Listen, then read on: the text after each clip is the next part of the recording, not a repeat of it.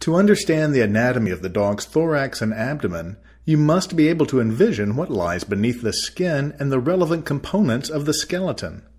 The latter include the skull, cervical, thoracic, lumbar and coccygeal vertebrae, rib cage, pelvis, and bones of the thoracic and pelvic limbs.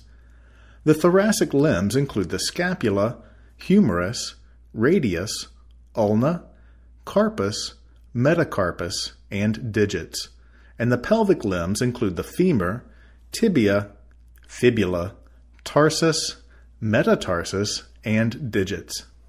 The thoracic vertebrae, 13 pairs of ribs, sternum, and diaphragm form the boundaries of the thorax. Similarly, the diaphragm, ventral abdominal wall, pelvis, the rib cage, and vertebral column form the boundaries of the abdomen. The lungs extend from the level of the first rib to that of the tenth rib. The heart is positioned obliquely in the thorax from the third to sixth intercostal spaces. The large, dome-shaped diaphragm separates the thoracic cavity from the abdomen. Removing the diaphragm reveals the underlying liver and gallbladder. The liver extends across the entire width of the dog.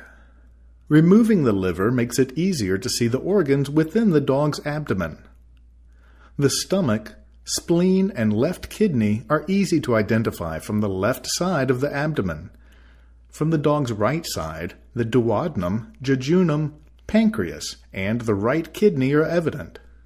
Removing the jejunum and viewing the abdomen from its ventral aspect makes it possible to identify the cecum, ascending, transverse, and descending colons, rectum, ovaries, uterus, and urinary bladder.